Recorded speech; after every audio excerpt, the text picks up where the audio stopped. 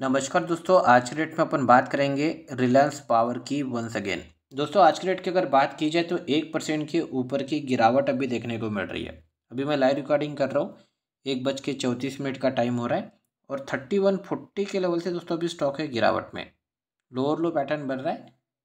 Deep deep आया बॉन back हुआ तो इस हाई को ऊपर की ओर ब्रेकआउट नहीं कर पाया स्टॉक तो जिस तरह से अदर दोस्तों पावर सेक्टर के स्टॉक भाग रहे हैं मैंने प्रीवियस वीडियो में भी कहा था यहाँ से बड़ी बाइंग देखने को मिल सकती है, बड़ा जंप आने की संभावना बनी हुई है।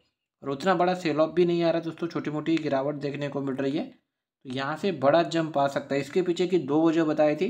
एक तो फिफ्टी टू फाइव को ऑलरेडी स्टॉक ब्रेकआउट दे चुका है। ब्रेकआउट के बाद सेलिंग देखने को मिली है थर्टी थ्री के आसपास से। और ट्वेंटी एट के ऊपर ही दोस्तों स्टॉक अभी सस्टेन होते हुए नज़र आ रहा है। तो यहाँ से कभी भी बड़ा जंप आ सकता है। तो अभी है स्टॉक गिरावट में लोअर लो पैटर्न बन रहा है तो और गिरावट आती है तो ट्वेंटी एट का जो लेवल एक मेजर सपोर्ट का काम करेगा। यहाँ से बड़ी बाइंग आने की संभावना बनेगी।